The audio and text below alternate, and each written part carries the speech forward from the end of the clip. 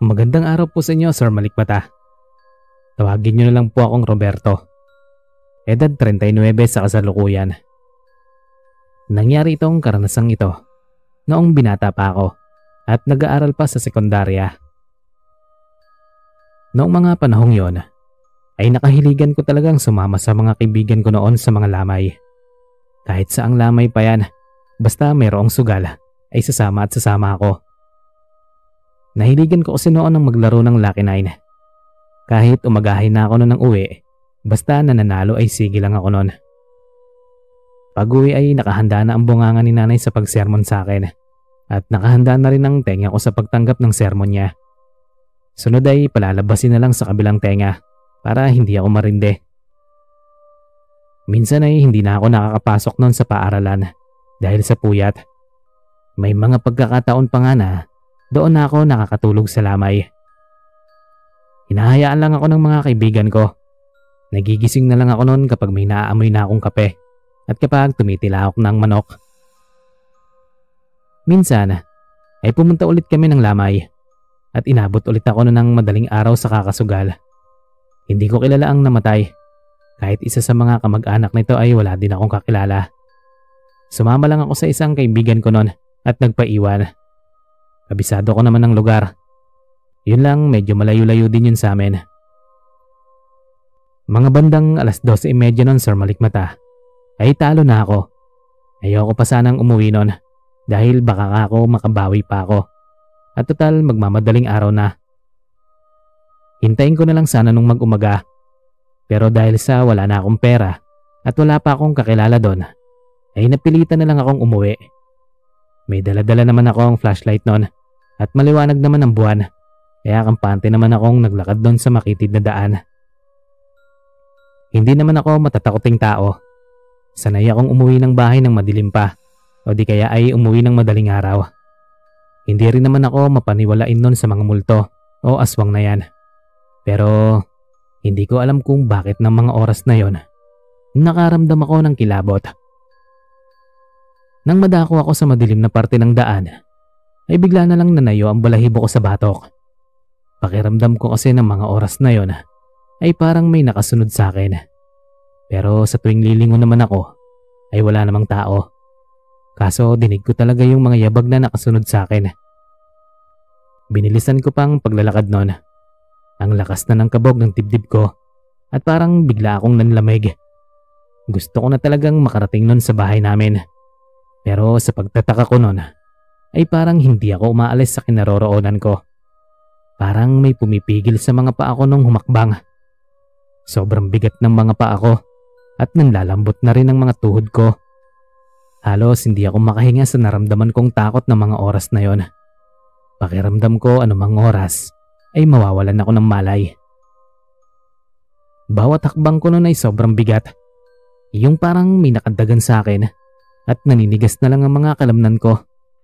Bigla akong napahinto nun sa malikmata nang mapatingin ako sa dadaanan ko. Sa unahan kasi ay may naaaninag akong taong nakatayo. Medyo malayo yon. Kaya yung damit nitong puti lang ang naaaninag ko. Pero sigurado ako na tao yon. Dahil imposible namang damit lang yon na nakalutang. At wala rin naman kasi yun nung minsang mapatingin ako sa unahan. Kaya nadagdagan pa yung nadarama kong takot nun nang may makita na akong ganon. Saglit akong huminto at huminga ng malalim. Kinalma ko muna ang sarili ko at saglit akong napapikit na mariin. Sa tanang buhay ko, first time kong magdasal ng ganoon kataimtim at paulit-ulit. Ramdam ko na yung pangangatog ng tuhod ko noon. Para na akong mapapaihi. Doon ko lang napatunayang multo nga ang nakita ko. Dahil pagdilat ko, ay wala na yung taong nakatayo sa may unahan. Muntikan na akong mapaupo nun dahil parang bibigay na ang tuhod ko sa takot. Pero nilakasan ko na lang ang loob ko. Humugot muna ako ng malalim na hininga dahil pakiramdam ko ay pigil na pigil ko na ang hininga ko. At hindi na ako nag-aksaya pa ng oras nun at tinakbo ko na pauwi. Pakiramdam ko pa nun ay may sumasabay din sa pagtakbo ko. Mas binilisan ko na lang habang panay usal ko ng dasal. Kung may isa mang kaibigan ko ang nakakita sa akin ng mga oras na yon, Siyak pagtatawanan talaga ako. Hingal na hingal ako noon pagdating ng bahay. Nagulat pa ako nang pagbukas ko ng pinto ay papalabas din si tatay. May dalang itak at flashlight. Susunduin na raw sana niya ako. Alas dos na yun ang madaling araw nang makarating ako. Nalaman niya dun sa kaibigang sinamahan ko kung nasaan ako. Nagalit nun si tatay dahil nagpaiwan pa daw ako. Gayong hindi ko naman daw kilala yung namatay. At wala raw kaming kakilala sa lugar na yon. Kung mayroon man daw ay hindi naman pupunta sa lamay na yon. Nakapagtataka nga noong una, naiilan lang ang taong nandoon at sumusugal. Kaya agad na nagyayano ng kaibigan kong umuwi. Pero dahil sa kaadikan ko sa sugal, ay nagpaiwan pa ako. Nakatikim ako ng batok noon kay tatay. Buti na lang daw at walang nangyaring masama sa akin. Gumala pa raw ako ng gumala kung saan saang lamay. Baka sa susunod daw ay sundan na ako ng multo ng patay. Hindi ko ba daw alam na yung patay na pinuntahan namin ay bali-balita sa lugar nila na isang aswang. Kinilabutan naman ako doon sa sinabi ni tatay. Naalala ko bigla nun yung taong nakita ko. Hindi ko lang alam kung multo nga ba yun o aswang at gusto akong tambangan. Kinabukasan ay nagkita kami ng kaibigan kong naunang umuwi. Tinanong niya ako kung hindi ba daw ako natakot nung pauwi na ako. Kinikilabutan daw kasi siya noon ng pauwi na. Mag-isa din kasi niyang umuwi noon. Pero maaga-aga siyang umuwi kaysa sa akin. Sabi niya parang may nakasunod daw sa kanya noon habang naglalakad siya. Wala naman daw siyang kasabayan noon. Agad daw siyang kinilabutan. Sa takot daw ay kumaripas daw talaga siya ng takbo. Mga tatlong kilometro din ang layo ng lamay na yun sa lugar namin. Hindi naman namin yun alintana nung papunta dahil maliwanag pa noon at marami kaming nadaan ng mga puno na may mga bunga. Hindi namin gaanong naramdaman ng pagod. Pero noong pauwi na, doon ko naramdaman na malayo pala talaga ang nilakad namin. Kaya ganoon na lang din ang hingal ko ng makarating. Kinuwento ko rin sa kanya noon ang naranasan ko. Napamura pa siya noon at ramdam ko na pareho kaming kinikilabutan.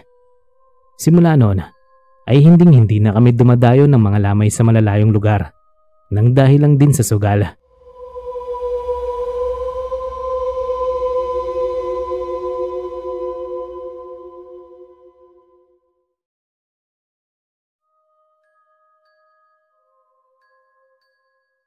Hello po sa inyo, Sir Van. Itago nyo na lang ako sa pangalang Jane. Taga Aklan. May isa po akong kaibigan na nagrekomenda ng inyong channel para padalhan ng karanasan ko. Madalas po siyang makinig sa inyo at matagal na rin siyang subscriber ng channel nyo. Nang una ko kayong napakinggan, ay agad ko namang nagustuhan ang mga kwento nyo. Ganon din ang boses nyo. Kaya umaasa po ako na sana maisama nyo itong ipapadala ko sa mga kwento nyo.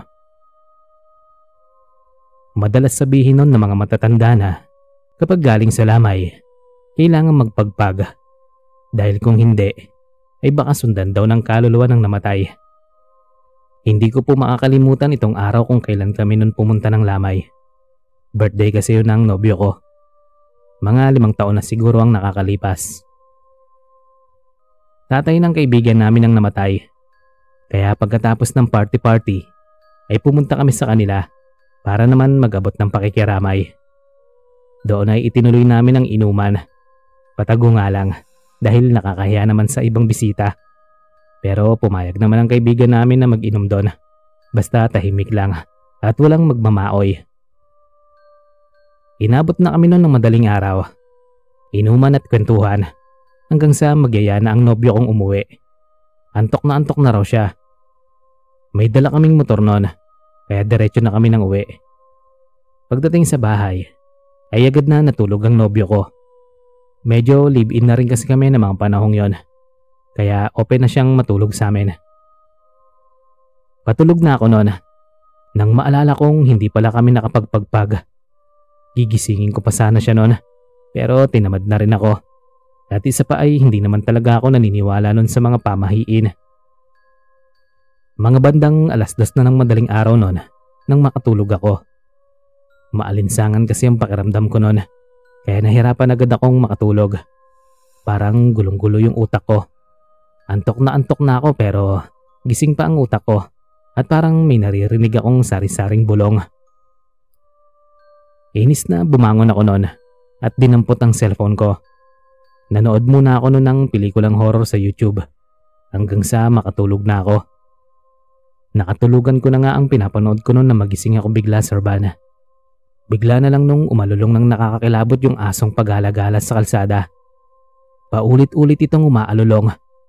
Nagsipagsunuran na rin umalulong noon ang iba pang asong nandon.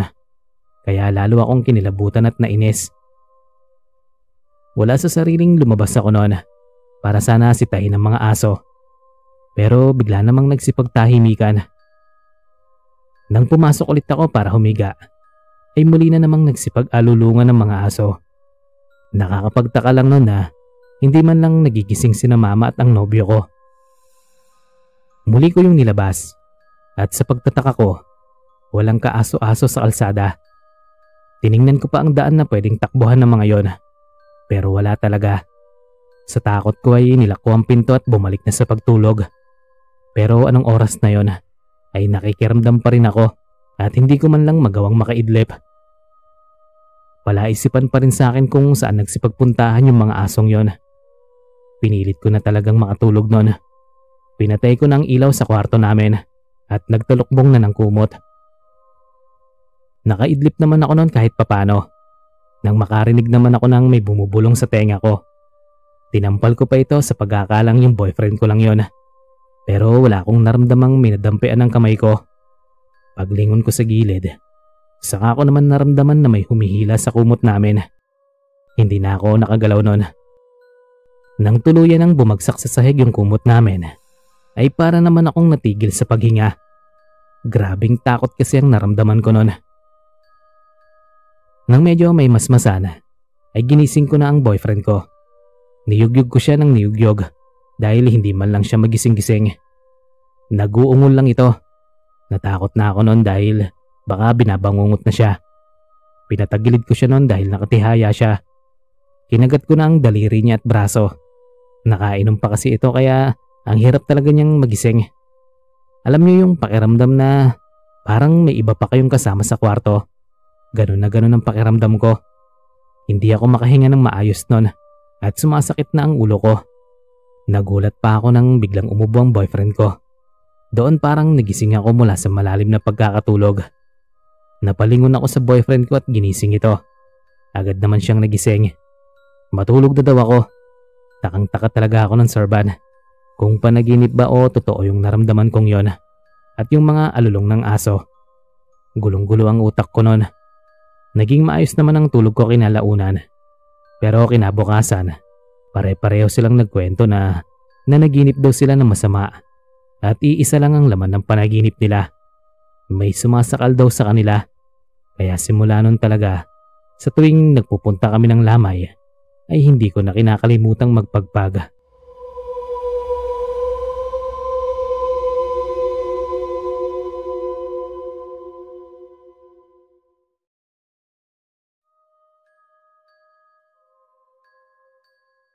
Magandang araw po sa inyo sir at sa lahat ng nakikinig ng inyong channel.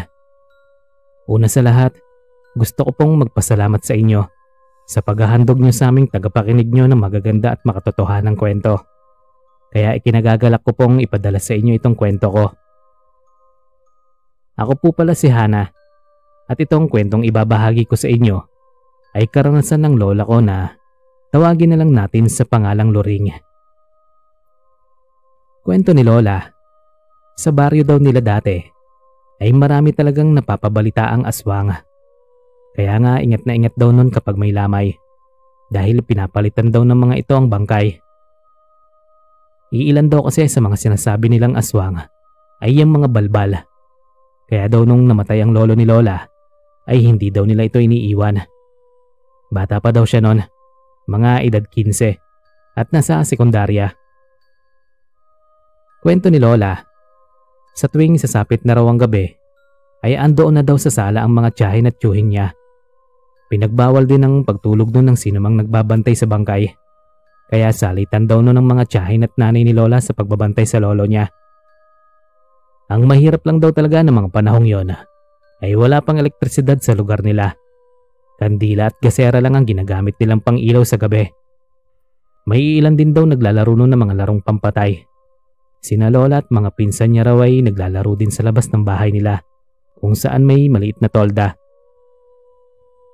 Isang gabi raw noon, halos katatapos lang daw ng hapunan nang magkagulo sila dahil sa isang nakakalokong alulong ng aso.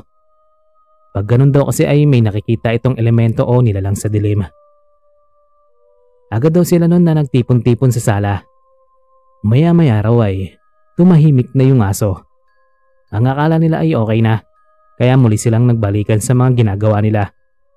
Papaalis na rin daw nun sa sala sina Lola at mga pinsan niya nang may biglang pumasok na matandang lalaki. Hindi naman daw nila yon pinansin dahil inisip nilang kaibigan lang yun ng lolo nila. Nakasombrero daw kasi ito na medyo natatakpan ang mukha nito kaya hindi nila napansin ang itsura nito. Saglit daw nung nagpakusina si na Lola at walang naiwan nun sa sala. Saka lang din daw niya napansin na yung mga tiyahin niya ay nandoon lahat sa kusina. Abala sa pagluluto ng pagkain para sa mga nakikiramay. At yung iilan sa mga kasamahan nila sa bahay ay nagsipagpasukan na sa mga kwarto para matulog. Saka lang naisip daw nun ni Lola na wala man lang ni isa sa kanila ang naiwan sa sala. Lumabas kasi ang mga pinsan niya para maglaro. Magtitimpla naman siya ng kape. Hindi raw niya alam kung bakit para na siyang hinahatak nun sa sala. Ang lakas daw ng kabog ng dibdib niya. Bumigat daw ang pakiramdam niya at parang hila-hila raw niya ang mga paa sa paglalakad. Nagmamadali na raw siya nung maglakad pa sala. Pero hindi niya malaman kung bakit parang may pumipigil sa kanya. Pagkalabas daw niya, ay palabas na rin ng pinto yung lalaki.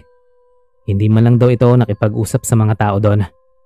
Hinahanap daw ni Lola ang lola niya para sana tanungin kung may kakilala silang ganoong tao.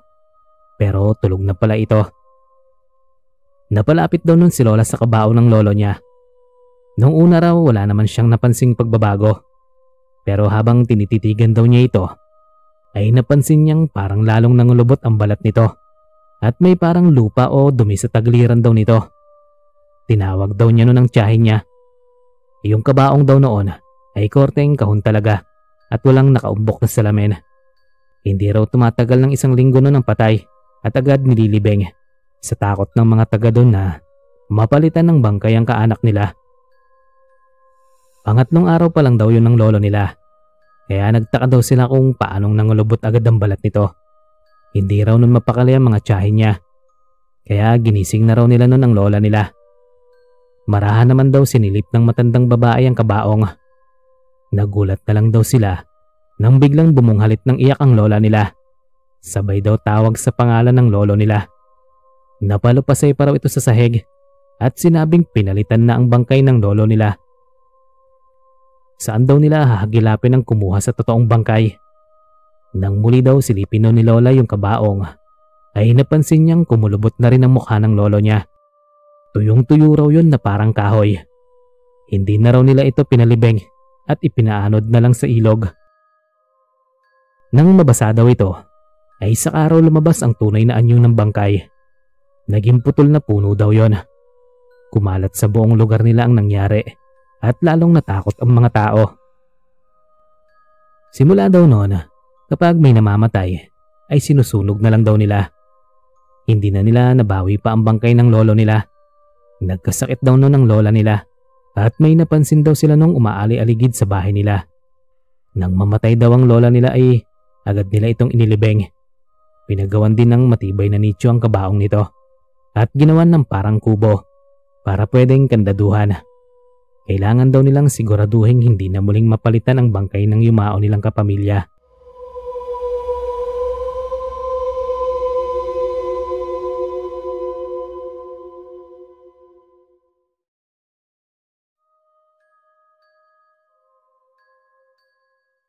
Hello po sa inyo Kuya Ban. I am Marie at matagal-tagal niyo na rin akong subscriber at listener. Nagsimula akong makinig sa channel niyo noong pandemic. Noong pandemic ko rin naranasan ang isa sa pinakamalungkot na nangyari sa buhay naming magpamilya.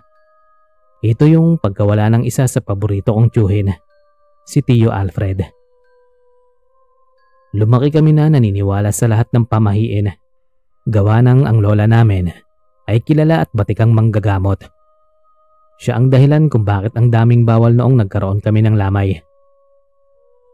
Biglaan ang pagkamatay ni Tio Alfred. Vehicular accident. Nabangga ng jeep ang sinasakyan nitong tricycle at tinakasan ito ng driver. Kaya agad na pinalagyan ni Lola ng sisiw ang kabaong ni Tio.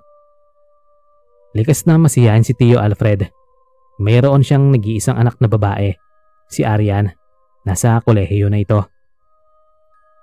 Simula nang lumipat sila ng bahay at mawalan ng magandang trabaho si Tio, ay nagkamalas-malas na ang buhay nila. Kaya pakiramdam namin noon ay mabigat talaga ang paglisa ni Tio Alfred. Lalo na napalayo siya sa magina niya dahil naghahanap siya ng trabaho dito sa amin. Pansamantala sana siyang maninirahan dito sa bahay ni Lola kapag nakahanap na siya ng trabaho. Napansin naming malungkot ang mukha nito sa kabaong. Hindi pa siya handa dahil marami pa siya nung gustong gawin sa buhay. Hindi pa niya napagtatapos ang unika iha niya. Nakasimangot ang bibig ni Tio kahit na inayusan na ito dahil siguro wala pa ang mag-ina niya. Sa pagtataka din namin na yung kamay niyang nakabukas ay unti-unting tumitikom.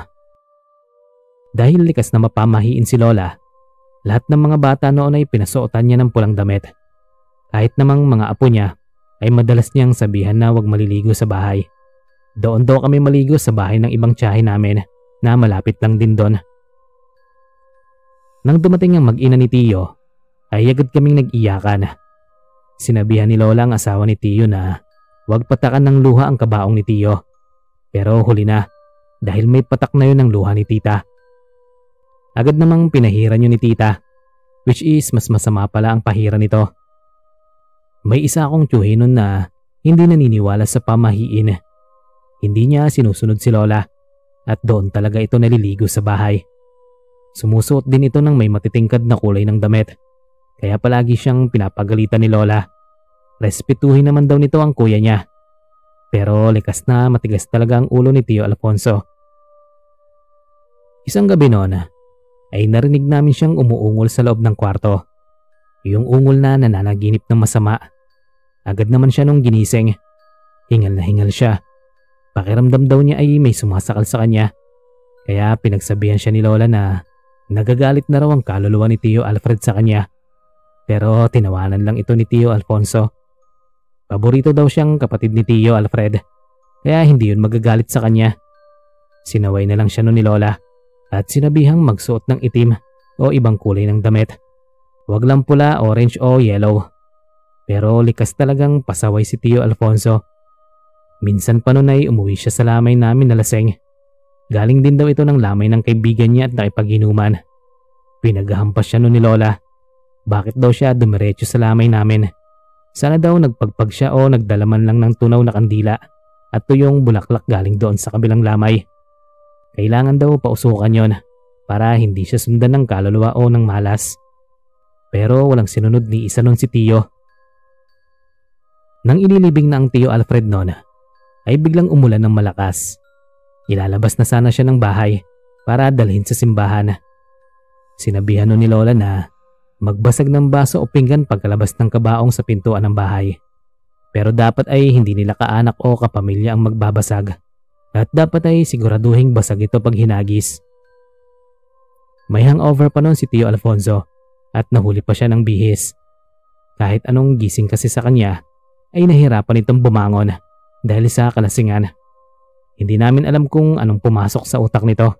Nang ihahagis na ng kapitbahay namin yung baso, ay bigla ba naman niyang inagaw at siya raw ang babasag. Agad niya yung hinagis na sa pagtataka namin ay hindi nabasag ang baso. Sinabi ni Lola na wag nang pupulutin. Pero napulot na niya ito at hinagis ulit. Pero hindi na naman nabasag dahil nga may kakapalan ng baso. Napapamura pa siyang pinulot ulit yon at ubod lakas na hinagis. Nabasag na ito pero nakatikim siya ng tampal at kurot mula kay Lola. Sira ulo daw ito at hindi nakikinig sa kanya. Tumila naman nun ng ulan pero nang papalabas na ng simbahan ay muli na namang umulan ng malakas. Parang ayaw pa magpalibing ni Tio. Galit na galit pa nun si Lola. Dahil doon sa may pinakalikurang upuan pa umupo si Tio Alfonso. Kahit anong tawag sa kanyang magpakuha ng litrato, ay hindi ito tumayo. Pero napansin naming umiiyak ito at mahinang nagmumura. Mahal na mahal kasi nito si Tio Alfred dahil ito ang nagpaaral sa kanya noong binata pa ito. Parang ito na nga rin ang nagsilbing tatay sa kanya. Pagdating nun sa libingan at ihuhulog na sana ang kabaong, ay wala namang dalang lubid ang mga tauhan ng punerarya. Ang daming pwedeng makalimutan, yun pa talaga. Nagpabili pa sila nun. Nang ililibing na, ay grabe ang iyak ni Tio Alfonso. Sinusumbatan pa niya si Tio Alfred kung bakit ito nang iwan. Magiinuman pa daw sila. Grabe din ang iyak namin nun. Lalo na nang magsalita ang pinsan ko na anak ni Tio Alfred. Awang-awa kami sa kanilang mag-ina. Kinabukasan noon, pagkatapos ng libeng kuyaban, hindi na rin muling nagising pa si Tio Alfonso. Namatay siya sa bangungot. Naiiyak na lang nun si Lola habang sinasabing matigas ang ulo ni Tio. Wala man lang daw kasi itong sinunod ni isa sa mga pamahiin. Hindi ko alam kung bakit nangyari yon kay Tio Alfonso. Pero ang sabi-sabi ng mga kapitbahay, Baka raw kasi sa basong ito ang naghagis at hindi agad nabasag. Pagka ganun daw kasi ay may kasunod sa pamilya ng namatay. At yun nga ang nangyari kay Tio Alfonso.